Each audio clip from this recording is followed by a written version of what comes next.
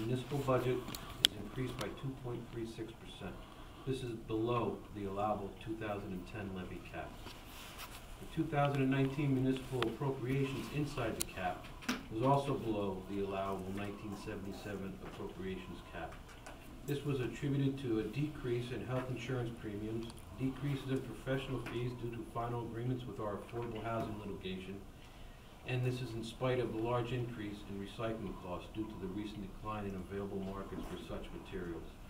So last year, we, uh, uh, paid out over twenty-five thousand dollars that was not budgeted.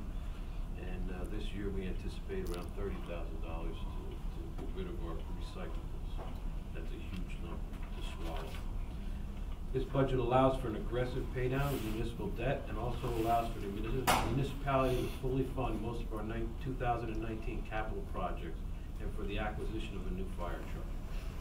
The estimated impact in two thousand nineteen on the average home valued at four hundred and thirty-eight thousand nine hundred and twenty-one dollars would be an increase of seventy-nine dollars in property tax from last year.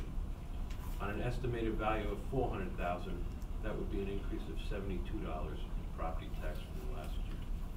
The borough has seen an increase in rateables of one million, two hundred and ten thousand, one hundred dollars between two thousand and nineteen and two thousand and eighteen.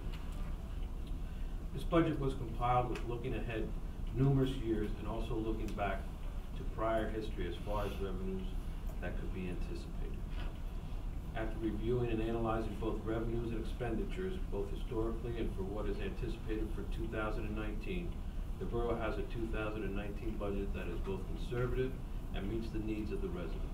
This budget leaves the municipality in good position, and we look forward to a bright future.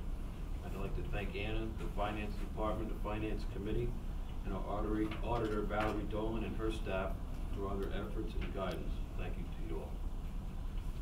I'd like to open a public hearing on the introduction of the budget. Seeing no, nobody, I close the public hearing on the introduction of the budget and ask Councilman Braun to move the resolution.